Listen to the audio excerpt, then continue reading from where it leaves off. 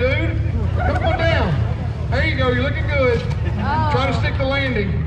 All right, we're pulling for old Cooper Bentley right now. He's trying to get in that money, hoping Paul does something stupid. He thinks he can beat Wyatt's time. So far, he's on track.